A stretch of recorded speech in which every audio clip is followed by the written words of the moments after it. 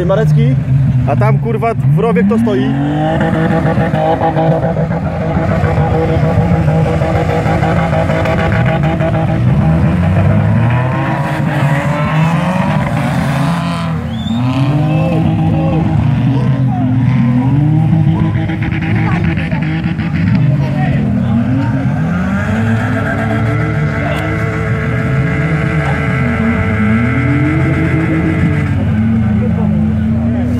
Widziałeś?